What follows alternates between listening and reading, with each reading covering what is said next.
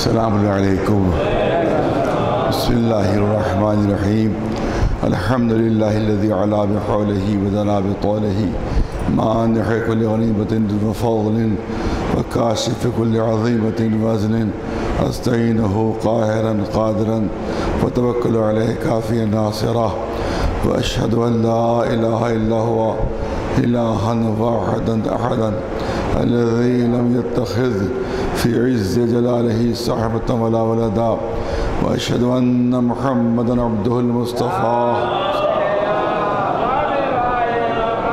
رسوله المجتبى رسوله للفاظ امره وبعثه لنهاية عذره وتقديم نذره صلى الله عليه وعلى أهل بيت الذين هم موضع سره وعيبة علمه ولجأ أمره لهم خصائص حق الولاية وفيهم الوصية والوراثة أوصيكم وبعد الله والنفسي بتقوى الله. ماہ مبارک رمضان جو قدرت کی طرف سے سب سے بڑا تحفہ ہے ہمارے لیے۔ سب سے عظیم تحفہ ہے۔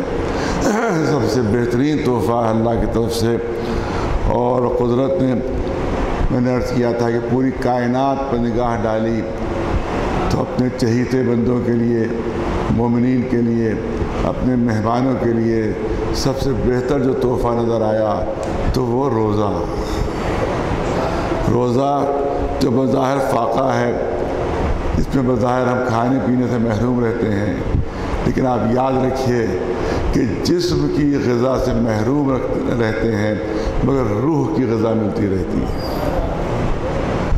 یہ روزہ جسم کی غذا نہیں ہے، یہ روزہ روح کی غذا ہے۔ آپ یاد رکھیں کہ جو بہترین کھانے ہیں، پلاؤ ہے، زردہ ہے، اور یہ اللہ کے کوفتے ہیں اور کباب ہے، اور کیا ہے، اور کیا ہے، اور کیا ہے، یہ تمام غذائیں جسم کی غذائیں ہیں اور جسم کو تقویت دیتی ہیں۔ اور روزہ روح کی غذا ہے جو روح کو تقویت دیتا ہے۔ روح کو قوت پہنچاتا ہے۔ اگر جسم کمزور ہو جاتا ہے، تو طاقت کے انجیکشن لگائے جاتے ہیں۔ معلوم کہ یہ دوا چڑھائی جا رہی ہے، وہ دوا چڑھائی جا رہی ہے۔ اور جو روح کمزور ہو جاتی ہے، تو پھر روزے کی ڈرپ لگائی جاتی ہے۔ تاکہ روح طاقتور ہو جائے، روح قوی ہو جائے۔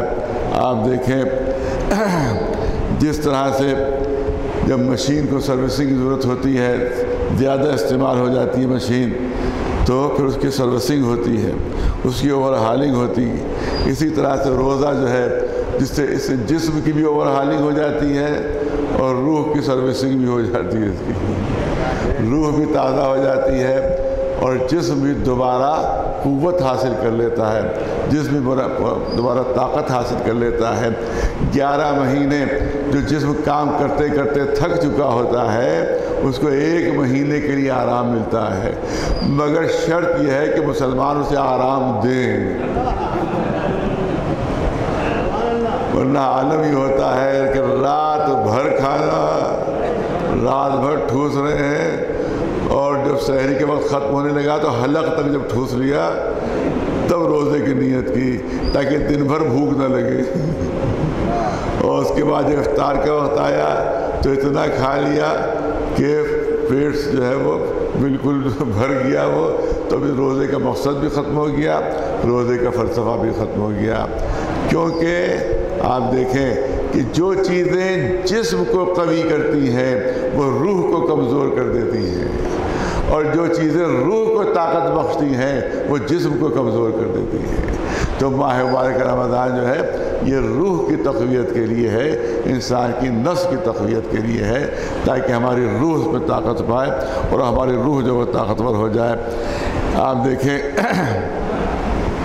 کہ عالم روزہ میں خواہشات و جذبات جو ہے وہ کمزور پڑ جاتے ہیں اور عقل غالب آ جاتی ہے۔ یہ نفس جو ہے وہ انسان کا دشمن ہے۔ سب سے بڑا دشمن انسان کا کون ہے؟ سب سے بڑا دشمن کون ہے؟ رسول اللہ نے کسی اپنے صاحب سے پوچھا، حضور سرور کائنات محمد مصطفیٰ صلی اللہ علیہ وآلہ وسلم نے اپنے اصحاب سے پوچھا کہ یہ بتاؤ کہ تمہارا سب سے بڑا دشمن کون ہے؟ سب سے بڑا دشمن کون ہے؟ تو اصحاب نے کہا، جو ہمیں قتل کر دے، جو ہمیں مار ڈالے، جو ہمیں لوٹ لے، جو ہم پر ظلم کرے وہ ہمارا سب سے بڑا دشمن ہے۔ کہا کہ نہیں، وہ سب سے بڑا دشمن نہیں ہے۔ جو تمہارے اندر موجود ہے، وہ تمہارا سب سے بڑا دشمن ہے۔ وہ ہے تمہارا نفس۔ وہ ہے تمہارا نفس۔ وہ تمہارا سب سے بڑا دشمن ہے۔ کہ یہ کیوں؟ کہ دنیاوی دشمن جو ہے، وہ تمہاری دنیا برباد کرتا ہے اور نفس جو ہے، وہ تمہاری آخرت برباد کر دیتا ہے۔ تو دنیاوی دشمن تمہیں کم نقصان پہنچاتا ہے، نفس تمہیں زیادہ نقصان پہنچا دیتا ہے اور تمہاری آخرت خراب کر دیتا ہے اور روزہ جو ہے وہ نفس پر کنٹرول کا نام ہے۔ انسان اپنے نفس پر کنٹرول حاصل کر لیتا ہے وہ اسی روزے ہی کے سبب۔ تو اس کا مطلب یہ ہے کہ اللہ کی نگاہوں میں مومنین کے لیے، اپنے چہیتے بندوں کے لیے سب سے عظیم تحفہ جو ہے وہ ہے روزہ، وہ ہے ماہ مبارک کے رمضان۔ سلوات بھیج محمد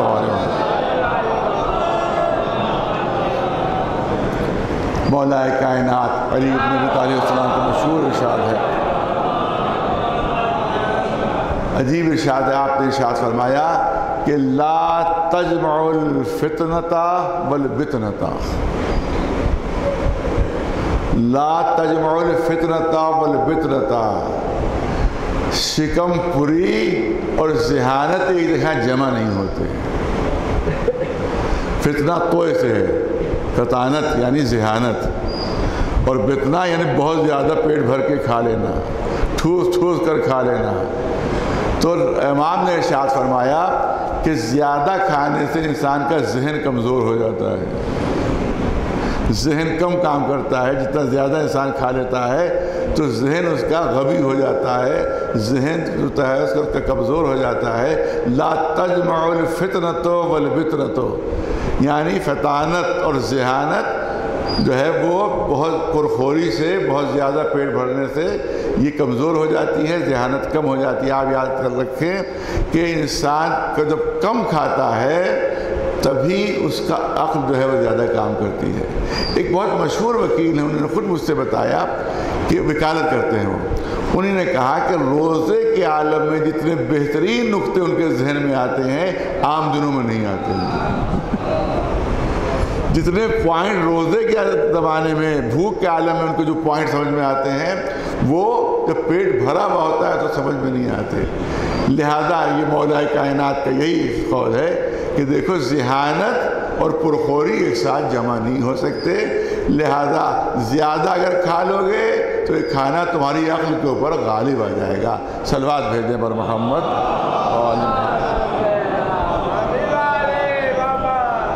تو یہ اسی لیے اللہ نے یہ روزہ ہمارے لیے واجب رکھا ہے تاکہ ہماری روح جو ہے وہ قوی ہو جائے اور ہمارا نفس جو ہے وہ ہمارے کنٹرول میں آ جائے۔ آپ دیکھیں کہ اس سے ارادے کی تقویت ہوتی ہے جس کو ول پاور کہتے ہیں۔ اس کو ول پاور کہتے ہیں۔ دنیا میں کامیاب وہی شخص ہوتا ہے کہ جس کی قوت ارادی مضبوط ہوتی ہے، جس کی ول پاور مضبوط ہوتی ہے۔ اور ہمیشہ ناکام وہ ہوتا ہے کہ جس کی قوت ارادی کمزور ہوتی ہے۔ جسمانی بہت توجہ ہے بہت اہم چیز ہے جو کرنا چاہتا ہوں کہ جسمانی طاقت سے کامیابی نہیں ملتی ہے، ارادے کی قوت سے کامیابی ملتی ہے۔ قوت ارادی سے کامیابی ملتی ہے۔ اسی لیے تاریخ میں یہ ہے کہ روم کی بہت ہی عظیم فوج تھی۔ بہت زبردست فوج تھی، بہت لمبے چوڑے لوگ تھے اور مسلمانوں کی فوج جو تھی وہ کم تھی۔ اور اس میں اتنے لمبے چوڑے لوگ بھی نہیں تھے، اتنے زیادہ صحت مند لوگ نہیں تھے۔ لیکن روم کی فوجیں اپنے تمام اسلحوں اور افرادی طاقتوں کے باوجود مسلمانوں سے شکست کھا رہی تھی ایک تاریخی چیز آپ کے سامنے پیش کرنا چاہتا ہوں کہ اپنے تمام افرادی قوت کے باوجود، اپنے بڑے بڑے پہلوانوں کے باوجود اپنے تمام بہترین اسلحوں کے باوجود مسلسل مسلمانوں سے وہ شکست کھا رہی تھی تو انہیں نے اپنے جاسوس بھیجے کہ آخر کیا سبب ہے کہ ہمارا اتنا عظیم لشکر، اتنا زبردست لشکر، اس کے مقابلے مسلمانوں کا لشکر بہت کم ہے، ظاہری قوت بھی نہیں، ظاہری طاقت بھی نہیں، اس کے بعد بھی وہ ہم پر غالب آ رہے ہیں، ہم مغلوب ہوئے جا رہے ہیں، ان کے جاسوسوں نے جب مسلمانوں کے اندر وہ آئے تو جا کر انہوں نے پلٹ کر خبر دی، کیونکہ مسلمان مسلسل روزے رکھ رہے ہیں۔ کہ جس کی وجہ سے ان کی قوت ارادی اتنی مضبوط ہو گئی ہے کہ تمہارا بڑے سے بڑا حملہ بھی ان کے اوپر کامیاب نہیں ہو رہا ہے۔ ایک سلوات بھیجے والا اس کا مطلب یہ ہے کہ یہ قوت ارادی کو مضبوط کرتا ہے اور یاد رکھے کہ قوت ارادی ہی کی وجہ سے، قوت ارادی کی وجہ سے دنیاوی کامیابی بھی ملتی ہیں اور اخروی کامیابیاں بھی قوت ارادی ہی سے ملتی ہیں جس کی قوت ارادی کمزور ہوتی ہے، طالب علم کی، وہی فیل ہوتا ہے۔ اور اتنی کتابیں کیسے پڑھوں؟ اتنا بڑا کورس کیسے پڑھوں؟ معلومہ قوت نے ساتھ چھوڑ دیا۔ قوت ارادی کمزور ہو گئی اور معلومہ فیل ہو گئے۔ معلومہ انجینئرنگ کے امتحان، بڑا سخت ہے، کیسے میں پڑھوں؟ ڈاکٹری کا امتحان بڑا سخت ہے، کیسے کامیابی ملے گی؟ تو جہاں قوت ارادی کمزور ہوئی، وہی ناکامی ہوئی۔ اور یہی قوت ارادی جو ہے، وہ دین میں بھی کام آتی ہے۔ یہی قوت ارادی جو ہے، وہ عبادتوں میں کام آتی ہے۔ اگر قوت ارادی مضبوط نہ ہو، تو صبح کی نماز کبھی نہیں پڑھ سکتا۔ جن کی قوت ارادی کمزور ہوتی ہے، وہی صبح کی نماز قضا کرتے رہتے ہیں۔ کیونکہ بستر سے اٹھے کیسے؟ گرمیوں میں رات جو ہے وہ چھوٹی ہوتی ہے، لہذا صبح کو نیند سب سے گہری آتی ہے، جاڑوں میں صبح کو سردی زیادہ ہوتی ہے، لہذا لحاظ سے نہیں نکلا جاتا ہے۔ جن کی قوت ارادی کمزور ہوتی ہے انہی کی صبح کی نماز قضا ہوتی ہے۔ جن کی قوت ارادی مضبوط ہوتی ہے، وہی عبادت گزار بھی ہوتے ہیں، وہی روزے دار بھی ہوتے ہیں، وہی حاجی بھی ہوتے ہیں۔ جن کی قوت ارادی مضبوط ہوتی ہے، وہی خوبص بھی ادا کرتے ہیں، وہی زکوٰۃ بھی ادا کرتے ہیں۔ ایک سلوات بھیجے بنا نواز۔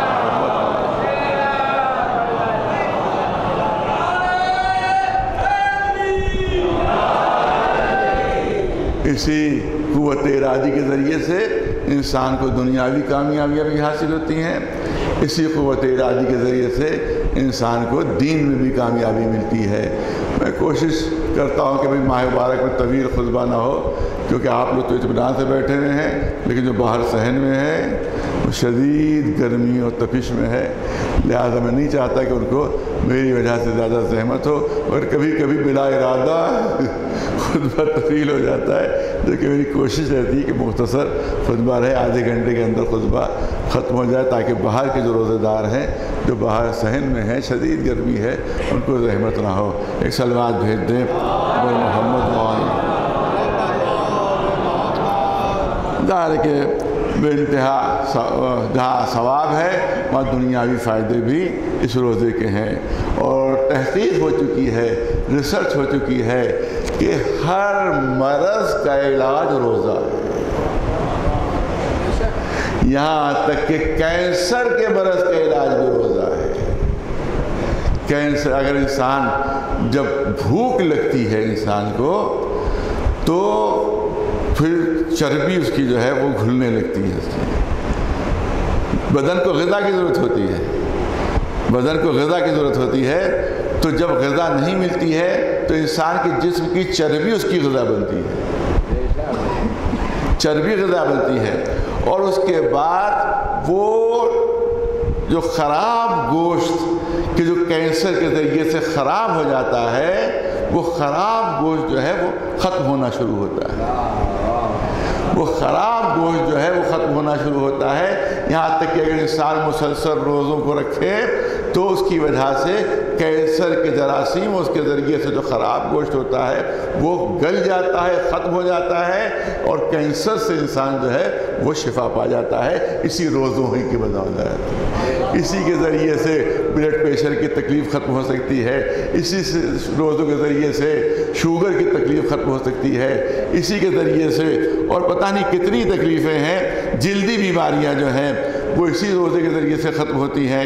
گردے کے امراض جو ہیں، وہ اسی روزے کے ذریعے ختم ہوتے ہیں۔ جگر کے امراض جو ہیں، وہ اسی روزے کے ذریعے ختم ہوتے ہیں۔ دل کی بیماریاں جو ہیں، وہ اسی روزے کے ذریعے سے ختم ہوتے ہیں۔ اور اگر کسی کا سر گنجا ہو، تو اگر مسلسل روزے رکھے، تو دوبارہ بال اس کے نکل سکتے ہیں۔ لہذا گنجے لوگوں تو روزہ ضرور رکھنا چاہیے۔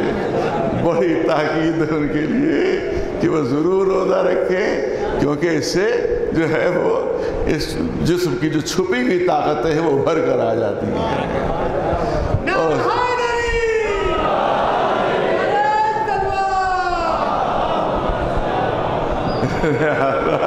یہ جو جن کے جس سر میں بال کم ہیں، ان کے لیے تو روزہ بہت زیادہ ضروری ہے۔ ان کو تو روزہ ضرور رکھنا چاہیے۔ بہرحال بہت زیادہ فضائل ہیں اور جتنے بھی اس کے فضائل کیے جائیں، بیان کیے جائیں، وہ کم ہیں۔ ہاتھوں پر جو سفید دھبے ہوتے ہیں، جو برف کا علاج برف کہلاتا ہے، وہ بھی روزے کے ذریعے سے صحیح ہو سکتا ہے۔ ہاتھوں کی لرزش کسی بھی دنیاوی دوا سے ٹھیک نہیں ہو سکتی۔ آج نہیں ہے ہاتھوں کی جن کو ہاتھوں میں راشا ہو جاتا ہے جن کے بدن میں راشا ہو جاتا ہے، دنیا میں کوئی علاج اس کا نہیں ہے، لیکن صرف ایک علاج اس کا ہے اور وہ روزہ۔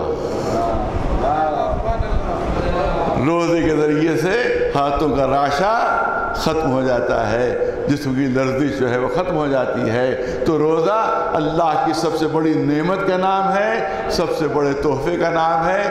جہاں روحانی امراض ختم ہوتے ہیں، وہاں جسمانی امراض بھی ختم ہو جاتے ہیں۔ اسی روزے ہی کی برکت سے ایک سلوات بھیج دیں۔ محمد محمد۔ میں نے کہا، زیادہ وقت نہیں لینا ہے، بلکہ صرف خلاصہ جو ہے وہ عرض کرنا ہے۔ آپ نے دیکھا، دیکھتے ہیں آپ۔ کہ دنیا میں جتنی بھی خرابیاں ہیں، وہ دو لفظوں کی بنیاد کے اوپر ہیں۔ میں پوری توجہ چاہوں گا، دنیا میں جتنی بھی خرابیاں ہیں، وہ دو لفظوں کی بنیاد کے اوپر ہیں۔ وہ دو لفظ کون سے ہیں؟ وہ دو لفظ ہیں ملک اور ملک۔ میں توجہ چاہوں گا، آپ حضرات کی پڑھا لکھا بجبہ ماشاء اللہ سب یہاں پر رہتا ہے، لہٰذا میں ان کی توجہ چاہوں گا کہ سارے جھگڑوں کی بنیاد ہے ملک اور ملک۔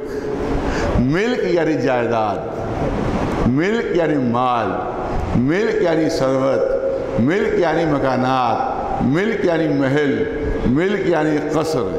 یہ ہے ملک اور ملک یعنی حکومت۔ ملک یعنی حکومت۔ جتنے بھی جھگڑے ہیں، وہ انہی دو کے اوپر ہیں۔ ملک اور ملک، کھیت کے اوپر جھگڑا ہو جاتا ہے، لاٹھیاں چل جاتی ہیں۔ اتنی سی زمین ہماری ہے یا اتنی سی زمین ان کی ہے؟ مکان کے اوپر لاٹھیاں چل جاتی ہیں۔ معلوم ایک دوسرے کو مار ڈالتے ہیں۔ ان کا میری مکان پر قبضہ کر لیا، ان کا میرا مکان ہے۔ اسی طرح سے آپ دیکھیں کہ ملکوں پر قبضوں کے لیے جنگیں ہوتی ہیں۔ لاکھوں لوگ مار ڈالے جاتے ہیں ملک پر قبضے کے لیے۔ لیکن روزہ ثابت کرتا ہے کہ نہ ملک ہماری ہے، نہ ملک ہمارا ہے۔ توجہ چاہوں گا۔ روزہ ثابت کرتا ہے کہ نہ ملک ہماری ہے، نہ ملک ہمارا ہے۔ یہ روزے کے ذریعے سے یہ ثابت ہوتا ہے کہ ہم اس دنیا میں کسی چیز کے مالک نہیں ہیں، بلکہ ہر چیز کا مالک اللہ ہے۔ ہر چیز کا مالک اللہ ہے۔ سامنے کھانا رکھا ہوا ہے، مگر نہیں کھا سکتے۔ سامنے پانی ہے، مگر نہیں پی سکتے۔ سامنے غذا ہے، مگر استعمال نہیں کر سکتے۔ ارے، ہماری ملکیت ہے، کیوں نہیں استعمال کر رہے ہیں؟ کیوں نہیں استعمال کر رہے ہیں؟ لیکن استعمال نہ کرنا اس بات کا ثبوت ہے کہ مالک کی اجازت نہیں ہے۔ ارے توجہ ہے کہ مالک کی اجازت نہیں ہے، اس لیے ہم استعمال نہیں کر رہے ہیں۔ تو روزے کے ذریعے سے مل کا جھگڑا بھی ختم ہو سکتا ہے اور ملک کا جھگڑا بھی ختم ہو سکتا ہے۔ ایک سلوات بھیجے بل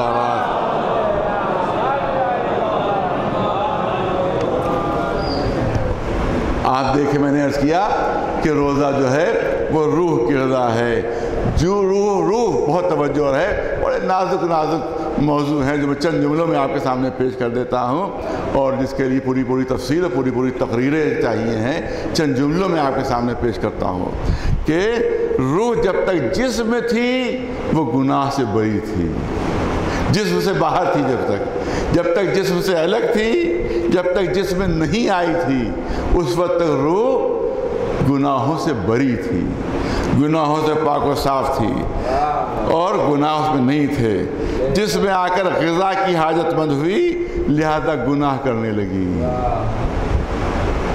روح ہماری گناہوں میں کم مبتلا ہوئی، جب جسم کے اندر داخل ہوئی۔ ارے توجہ رہے۔ کب گناہوں میں مبتلا ہوئی روح؟ جب جسم کے اندر داخل ہوئی، تب گناہوں میں مبتلا ہوئی۔ جب تک جسم سے باہر تھی، گناہوں سے بری تھی۔ جب جسم میں داخل ہوئی، تو اب یہ اب یہ گناہوں میں مبتلا ہوئی۔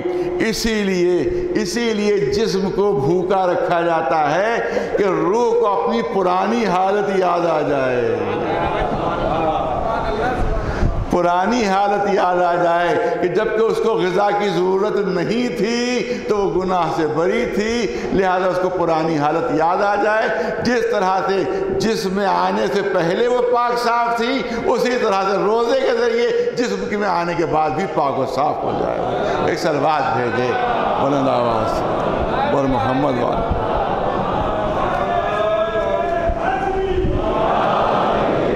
اب صاحبان ذوق ہیں۔ اسی لیے میں نے کہا کہ ایک ایک جملے میں پوری پوری تقریر ہے۔ اس کو اگر پھیلایا جائے تو پوری تقریر ہو جائے گی کہ تمام جتنی بھی عبادتیں ہیں وہ اطاعت کو ظاہر کرتی ہیں۔ نماز اطاعت کی مظہر ہے، حج اطاعت کا مظہر ہے، جہاد اطاعت کا مظہر ہے۔ یہ تمام چیزیں اطاعت کا مظہر ہیں، لیکن روزہ اطاعت کا مظہر نہیں ہے۔ عجیب چیز ہے سن کر تعجب ہو رہا ہوگا کہ یہ کیا کہہ رہے ہیں۔ تمام عبادتیں اطاعت کو ظاہر کرتی ہیں۔ اطاعت کا مظہر ہے، مگر روزہ اطاعت کا مظہر نہیں ہے، بلکہ عشق کا مظہر ہے۔ عشق کا مظہر ہے، کیونکہ یہ عاشقی ہوتا ہے کہ جو عشق میں بھوکا پیاسا رہتا ہے۔ عشق کی پہچان ہی یہی ہے کہ عاشق کو نہ بھوک لگتی ہے نہ پیاس لگتی ہے، تو اور عبادتیں اطاعت کو ظاہر کرتی ہیں۔ اور روزہ عشق الہی کا مظہر ہے کہ یہ عاشقان الہی ہے کہ جو اس طرح سے بھوکے بھی ہیں، اس طرح سے پیاسے بھی ہیں۔ سلوات بھیج دے محمد محمد۔ کیا کیا جائے؟ تم جلدی وقت ختم ہو جاتا ہے۔ دو چار جملوئی میں وقت ختم ہو جاتا ہے۔ اور جس طرح سے جسمانی بیماریاں دور ہوتی ہیں اسی طرح سے روزے کے ذریعے سے روحانی بیماریاں دور ہوتی ہیں۔ اور میں نے عرض کیا کہ ایک سخت ترین روحانی بیماری ہے کہ جس کا نام ہے حسد۔ اور یہ حسد ہے کہ جس کی وجہ سے دنیا میں بڑی خرابیاں پیدا ہوتی ہیں۔ یہی حسد ہے کہ جس کی بنیاد پر اہل بیت پر ظلم ہوئے تھے۔ اسی حسد کی بنیاد پر۔ اور آج بھی حسد ہی کی بنیاد پر ظلم و ستم ہوتے ہیں۔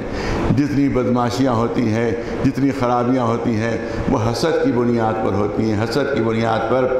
اور حاسد کی سزا خود اس کا حسد ہوتا ہے۔ نہیں عجیب چیز ہے۔ حاسد کی سزا خود اس کا حسد ہوتا ہے۔ بلکہ یوں عرض کروں کہ مقولہ ہے کہ حاسد ایسا مظلوم ہوتا ہے جو قابل رحم نہیں ہوتا۔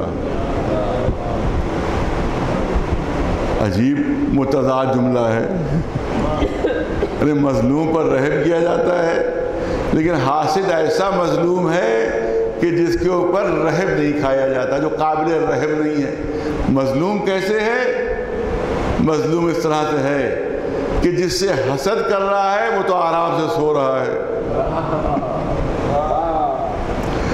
جس سے حسد کر رہا ہے وہ تو آرام سے سو رہا ہے اور یہ حسد میں پلنگ پر کربٹے بدل رہا ہے۔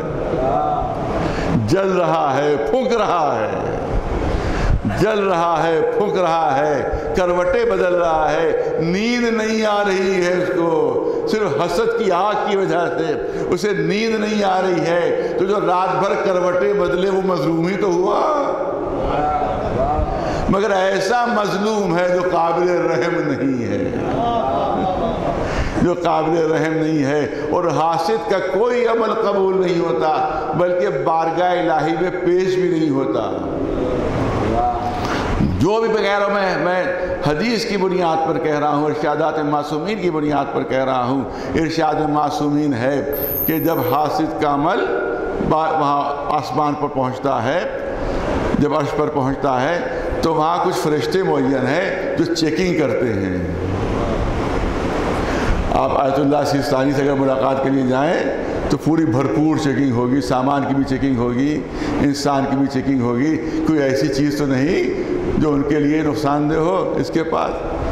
تو جب اللہ کے پاس اعمال بھیجے جاتے ہیں تو ان کی بھی چیکنگ ہوتی ہے۔ ان کی بھی چیکنگ ہوتی ہے، فرشتے چیکنگ کے لیے معین ہیں۔ اور اس کے بعد حاسد کے اعمال کو واپس کیا جاتا ہے۔ فرشتے کہتے ہیں کہ اس کے عمل سے حسد کی بو آ رہی ہے۔ اس کی نمازیں قبول نہیں، اس کے روزے قبول نہیں، اس کے حج قبول نہیں ہے۔ کیونکہ حاسد تھا اور کیوں قبول نہیں ہے؟ اس لیے قبول نہیں ہے۔ کیا اس کا حسد یہ بتا رہا ہے کہ اللہ کی نعمتوں کی تقسیم پر راضی نہیں تھا؟ ارے توجہ چاہوں گا آپ حضرات کی۔ حاسد کس کو کہتے ہیں؟ حاسد اس کو کہتے ہیں کہ جو اللہ کی نعمتوں کی تقسیم پر راضی نہ ہو، جو تقسیم پر راضی نہیں ہوتا ہے، اس پر اللہ، اس کو اللہ کی عدالت پر بھروسہ نہیں ہوتا۔ تو جب تم کو اللہ کی عدالت پر بھروسہ نہیں ہے، تو تمہارے اعمال اللہ کی عدالت میں پیش نہیں ہوں گے۔ کسی اور عدالت میں لے جاؤ۔ کہیں اور لے جاؤ۔ حاسد کے اعمال واپس ہو جائیں گے۔ اور آج بھی ہم اسی کا شکار ہیں۔ زیادہ تر جو مخالف ہیں، وہ ماشاءاللہ وہی حاسدین ہیں کہ جو خوفناک سازشیں کرتے رہتے ہیں اور بھیانک سازشیں کرتے رہتے ہیں، صرف اپنے حسد کی بنیاد کے اوپر۔ میں نے کہا کہ جو ہم کریں گے، اس کا وہ الٹا کریں گے۔ ان کا نہ کوئی مسلک ہے، نہ ان کی کوئی منطق ہے، نہ ان کی کوئی فکر ہے۔ ان کا مسلک ہے حسد۔ حسد کی بنیاد پر جس طرح سے بنی امیہ، جو میں نے بنی امیہ کہا تو غلط نہیں کہا، پھر دوہرا رہا ہوں۔ یہ جتنے حاسد ہیں یہ عمل کے لحاظ سے بالکل بنی امیہ ہی کی شبیہ ہے۔ کیونکہ وہ بھی حسد کے شکار تھے اور اہل بیت کے سلسلے میں غلط پروپینڈے کیا کرتے تھے، صرف حسد کی بنیاد پر۔ تو یہاں بھی کچھ مولوی ایسے ہی ہیں جو حسد کے شکار ہیں۔ اور ہر چیز الٹی۔ یہی تھے جو بی جے پی کے قصیدے پڑھا کرتے تھے۔ ارے اس سے بہتر تو کوئی پارٹی نہیں ہے۔ جب کوئی برائی کرتا تھا تو کہتا ہر کس برائی نہ کرو۔ ارے اسی نے تو ازا کے جلوس نکلوائے۔ اسی نے تو ازاداری کے جلوس نکلوائے۔ کانگریس نے جلوس بند کروائے اور ہماری بی جے پی پارٹی نے جلوسوں کو نکلوایا ہے۔ اس سے بہتر کیا پارٹی ہو سکتی ہے؟ لیکن ادھر میری ہلکی سی دعا ہوئی، ادھر انہیں نے کلا بازی کھائی۔ ادھر قلعہ کھائی اور وہی جو تعریفیں کیا کرتے تھے، کیونکہ قلب جواد نے دعا کر دی، لہذا اب ہمارے لیے مخالفت واجب ہو گئی۔ لہذا کسی مقام کے اوپر تمام ان تمام مولویوں کی میٹنگ ہوئی، اس میں طے ہوا کہ قلب جواد کی مخالفت کرنا ہے اور ہمیں دوسری پارٹی کو ووٹ ڈلوانا ہے۔ لہذا انہی نے صرف صرف اسی بنیاد کے اوپر ووٹ ڈلوائے، ورنہ اگر میں کانگریس کی حمایت کر رہا ہوتا تو یہ بی جے پی کو ووٹ ڈلوا رہے ہوتے۔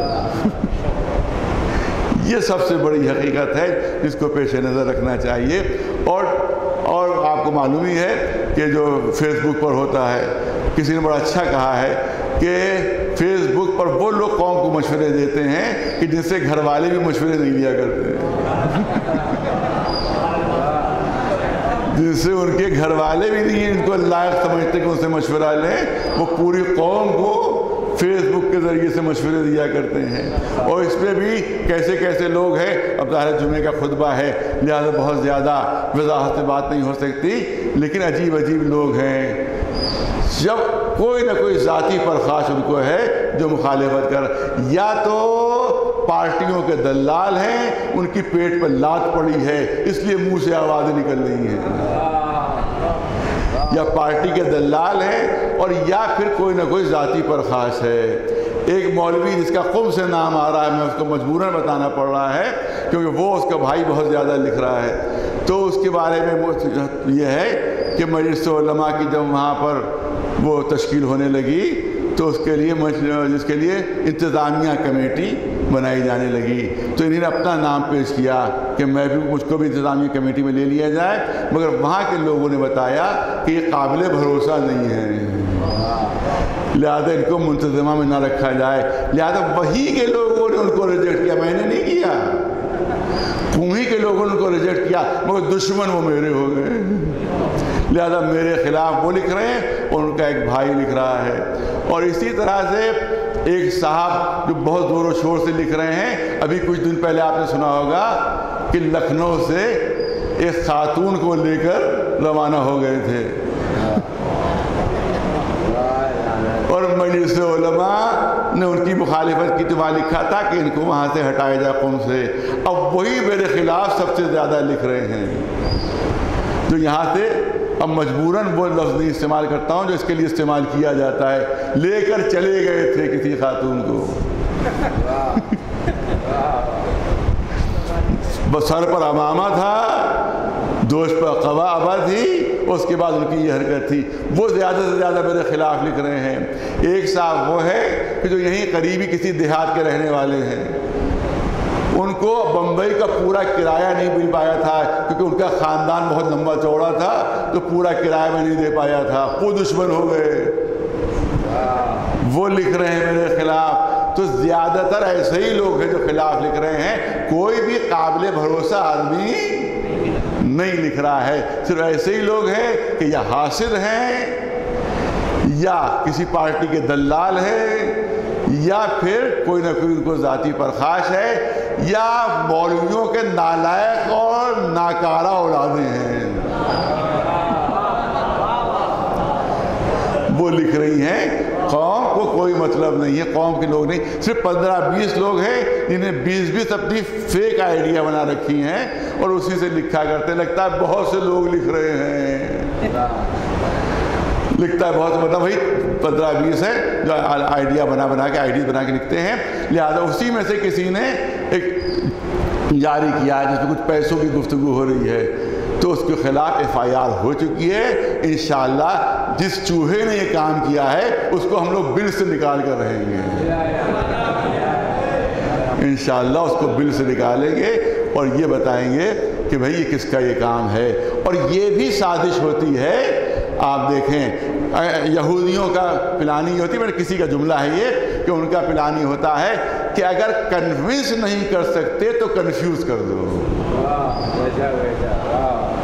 اگر کنونس نہیں کر سکتے تو کنفیوز کر دو۔ تو اس طرح کی باتیں جب بہت مشہور کی جائیں گی، تو آدمی خود بخود کنفیوز ہو جائے گا کہ پتہ نہیں صحیح ہے کہ غلط ہے، صحیح ہے کہ غلط ہے۔ تو کنونس نہ بھی ہو تب بھی کنفیوز ہو جاتا ہے۔ اور یہ بنی امیہ کی سازش ہے پرانی۔ لوگ بگڑ رہے کہ بنی امیہ کہہ دیا۔ ارے جب حرکتیں بنی امیہ جیسی ہوں گی، تو کیوں نہ بنی امیہ کہا جائے؟ گا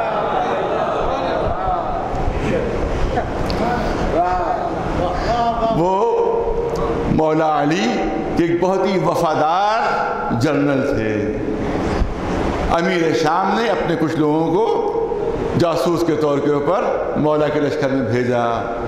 بے انتہا وفادار تھے۔ انہوں نے کیا کیا؟ رات میں وہ اپنے خیمے سے کہیں ٹہلنے باہر نکلے۔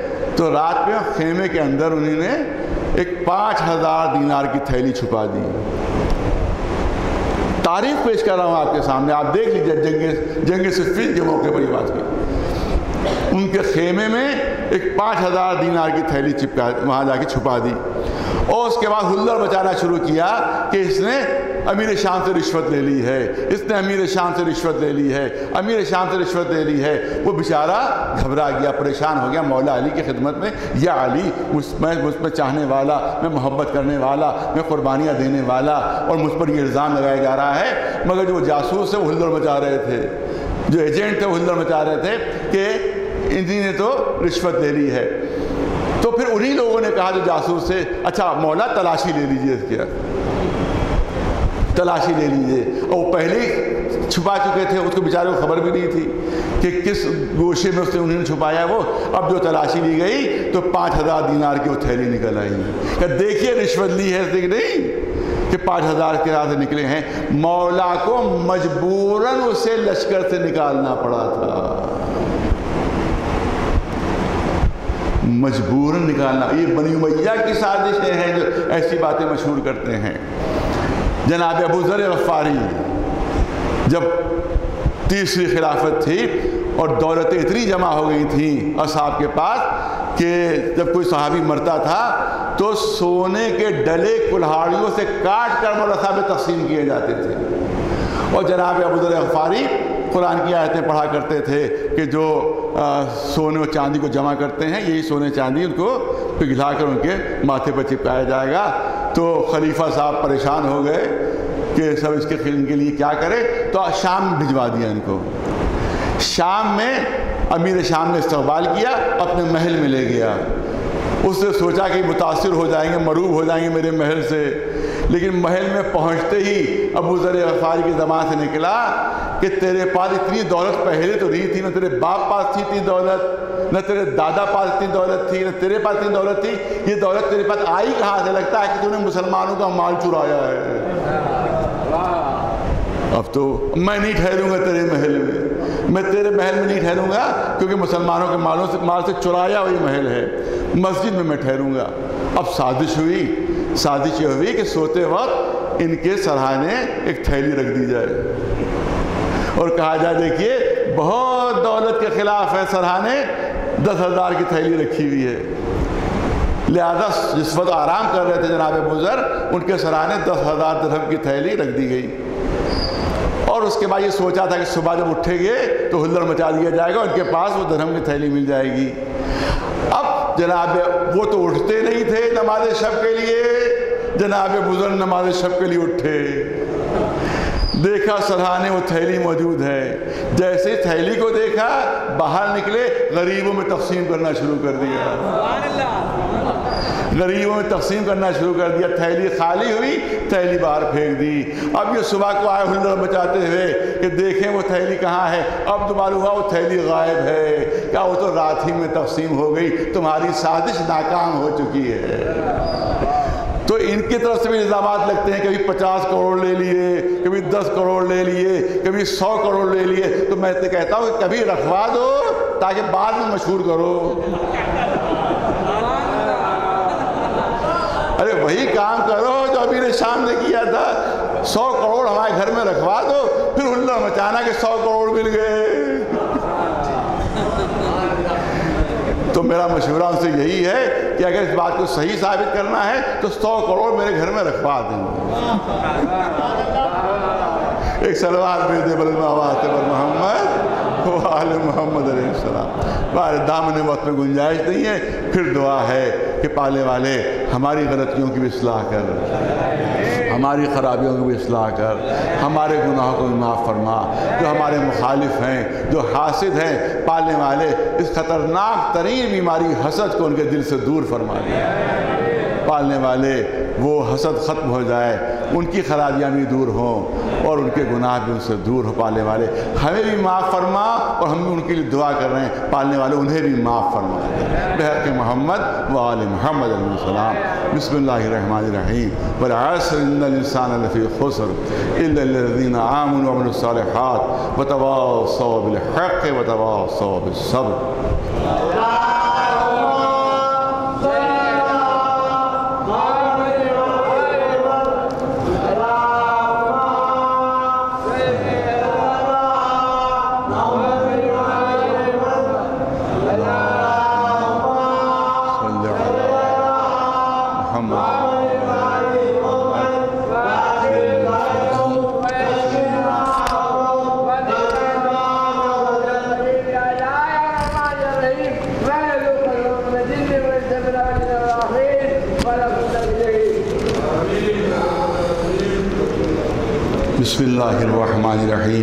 الحمد لله استتمام النعمة وسبحان الله استسلام العزة ولا إله إلا الله إقرارا بوحدانيته وحسبنا الله وفاقة إلى كفايته وأشهد أن محمد رسول الله سيد بريته صلى الله عليه وعلى الأشياء بنترته اتقوا الله عباد الله محذر الدنيا فإنها الدار رب العنا وآخر فنا في حلال حساب وفي حرام عقاب من استغنى فيها فتنا من افتقر إلى حظنا ومن أبصر بها افسرا ومن أبصر إليه أعمته فاستعدوا رحمكم علیہ ليوم الحساب وغتنم المحلہ فإنها تمر مر السحاب اللهم صل على سید المرسلین و شفیع المذنبین، نبینا محمد صلی اللہ علیہ وآله امام المسلمين من المؤمنين علي بن ابي طالب وفاطمه بنت رسول الله والحسن المجتبى والحسين الشهيد بكربلاء وعلي بن الحسين ومحمد بن علي وجعفر بن محمد وموسى بن جعفر وعلي بن موسى ومحمد بن علي وعلي بن محمد والحسن بن علي عليهم الصلاة والسلام أجمعين اللهم صل على مولانا صاحب الزمان الحجة القائم بالحق المنتظر المهدي عليه السلام